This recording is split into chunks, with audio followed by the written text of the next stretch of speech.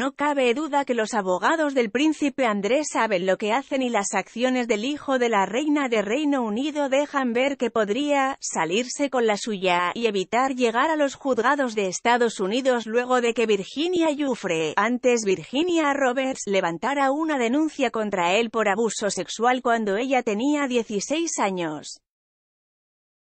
Todo indica que Andrés se alojará por no decir se esconderá indefinidamente en el castillo de Balmoral hasta que se resuelva su caso y, de hecho, ya está instalado en la residencia de su mamá desde este martes pues fue visto llegar en compañía de su ex esposa, Sarah Ferguson. Hasta el momento ha logrado esquivar los múltiples intentos por parte de los abogados de la demandante de entregarle personalmente en Royal Lodge, su hogar, los documentos de la demanda en su contra, según informó The Sun. Y, refugiarse en un lugar tan custodiado como Balmoral, no hará más que complicar o hacer realmente imposible la entrega. Lo anterior es muy importante pues, debido al Tratado de Derecho Internacional de la Convención de la Haya, al él no ser estadounidense, se requiere que reciba personalmente los documentos judiciales para que la demanda avance.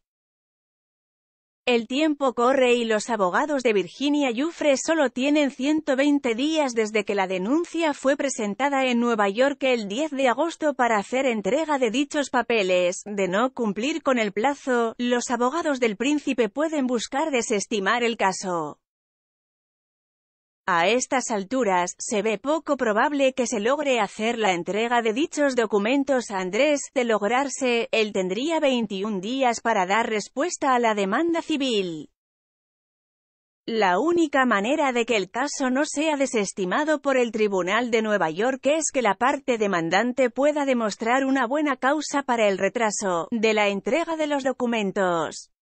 El 8 de diciembre es la fecha límite.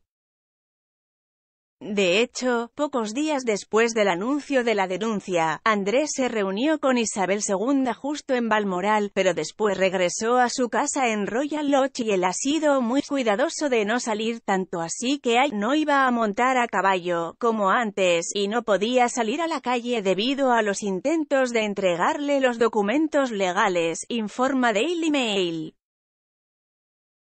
Sabe que está mucho más seguro en Balmoral, en la finca de la reina.